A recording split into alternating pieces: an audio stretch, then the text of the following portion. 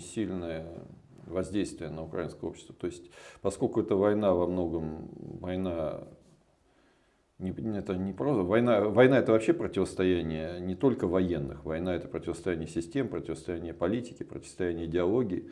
Для врага ну, самое перспективное. То есть попытаться разорвать нашу военную группировку на две, лучше, там, может быть, на три части, вернуть большие территории Херсонской и Запорожской областях, а при удаче проскочить в Крым.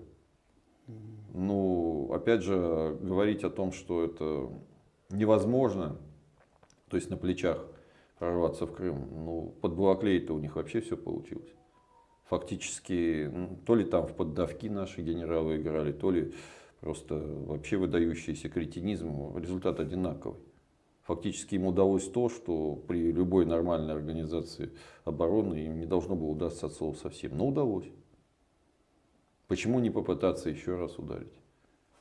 А, подчеркиваю, прорвав там фронт, они получают достаточно широкие возможности для распространения в любом направлении. И на направлении на Мариуполь, и в направлении на э, крымские перешейки.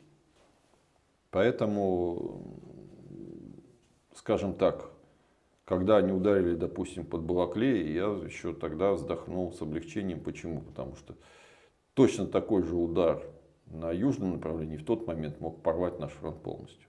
Но они предпочли, видимо, синицу в руках, вот, а не журавля в небе. Предпочли, как так сказать, добиться крупной, громкой, поднимающей дух, но не имеющей стратегического значения победы на Харьковском участке фронта.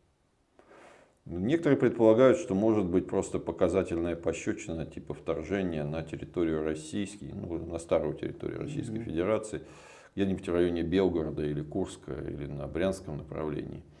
Тоже теоретически возможно, но с военной, опять же, точки зрения бесперспективно.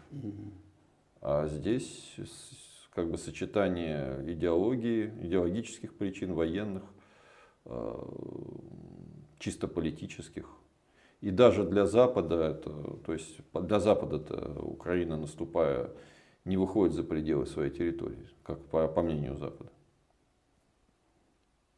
Поэтому, именно поэтому, то есть не то, что я прогнозирую, я как бы вот считаю это направление наиболее опасным с точки зрения а, операций украинских войск, где они реально нанесут удары, или они могут нанести их несколько. Сил у них сейчас для этого хватает. А, и, кстати, и погодные условия сейчас будут, когда земля подмерзла, благоприятствовать. Где они реально нанесут удары и нанесут ли они их вообще, я, естественно, не знаю. Когда будет общая мобилизация? Всего